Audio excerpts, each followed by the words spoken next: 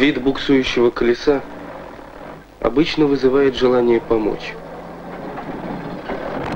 Невозможно оставаться равнодушным, наблюдая, как машина бесполезно разбрасывает снег. А в это время, пустую сжигая бензин, работает двигатель, коэффициент полезного действия которого как-никак 20%. Но если уж на то пошло, то и 20% слишком мало по сравнению с тем, что 80%, как говорится, вылетают в трубу или идут на никому не нужный разогрев деталей и воздуха вокруг. Вот это действительно обидно. Но разве не аналогичная проблема встает перед теми, кто занят преобразованием тепла в электричество? Казалось бы, им, энергетикам, все карты в руки. Ведь в их распоряжении мощные стационарные установки и современная турбина – настоящий технический шедевр. Она все равно, что орган среди прочих инструментов, и в ней все совершенно.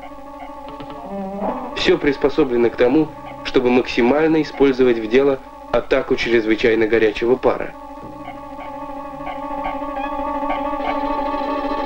Общий КПД паровой турбины, как системы, 40%. 60% отдай природе. На подогрев атмосферы.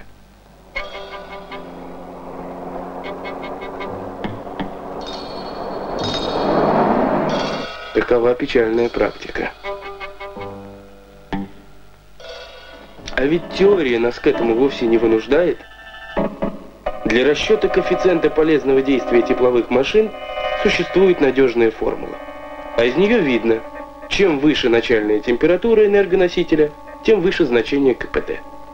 И вовсе не обязательно пользоваться компьютером, чтобы установить, коэффициент полезного действия тепловых машин можно довести почти до идеала.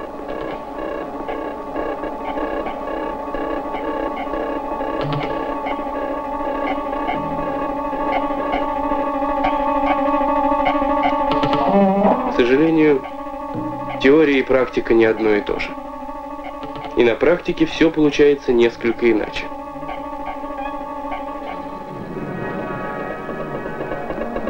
Судите сами.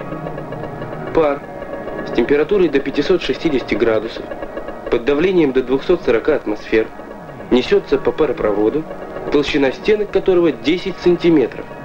И если бы не защитная теплоизоляция – мы увидели бы, как они светятся в темноте.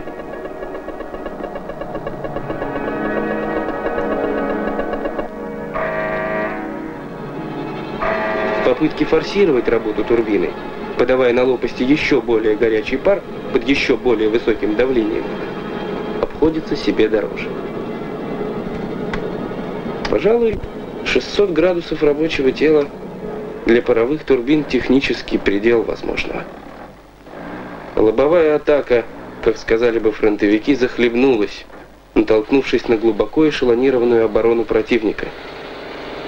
Но тогда обходный маневр. Впервые его удалось осуществить советским ученым и специалистам, построившим принципиально новый преобразователь энергии – магнитогидродинамический генератор. По сути, это укращенная ракета – Разогретая до 3000 градусов плазма создает не реактивную силу, а устремляется в канал, где без каких-либо механических преобразователей тепловая энергия превращается в электрическую. И никакого чуда. Принцип работы МГД-генератора предельно прост. Помните правило правой руки? В проводнике, если он пересекает магнитные силовые линии, рождается ток –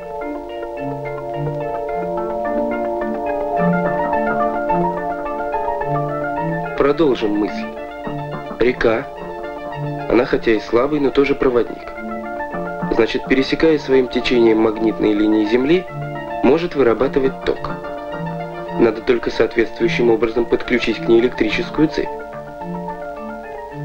Впервые эта идея возникла у Фарадея, еще в прошлом столетии. Она и легла в основу МГД-генератора. Фарадей даже пытался с одного из лондонских мостов замерить электрический потенциал, возникающий в Темзе.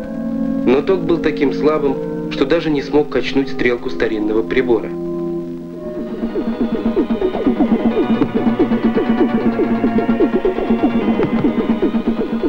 В современном МГД-генераторе вместо магнитного поля Земли мощный магнит с обмоткой из сверхпроводящего материала. Вместо медленно текущей реки поток ионизированной плазмы, несущийся со скоростью близкой к скорости звука. Да, схема МГД-генератора проста. Но вот на техническое воплощение ее ушли десятилетия напряженных поисков ученых, инженеров Института высоких температур Академии наук СССР. Надо было создать материалы, которые бы выдерживали невероятный жар раскаленной плазмы. И не просто выдерживали, а еще снимали и уносили рождающееся электричество.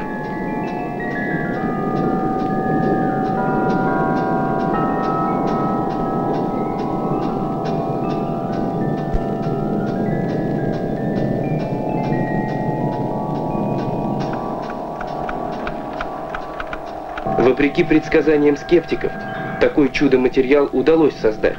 И сегодня опытная установка МГД-генератора У-25 уже работает и дает ток в энергосистему столицы.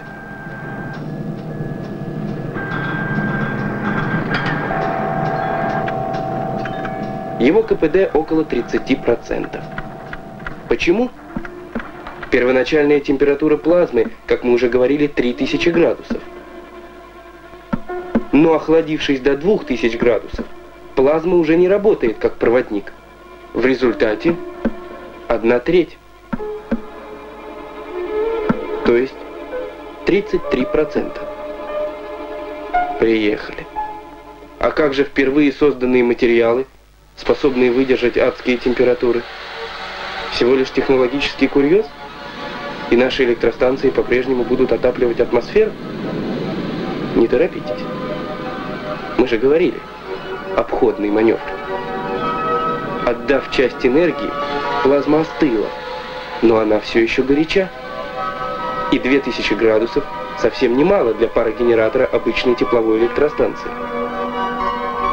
Почему бы не соединить МГД-генератор с традиционной ТЭЦ?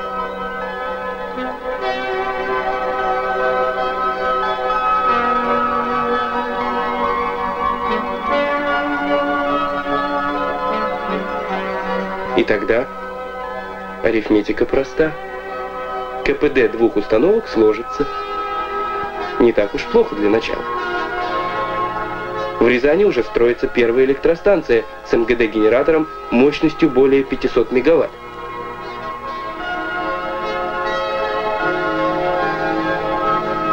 Атака с фланга принесла долгожданный успех.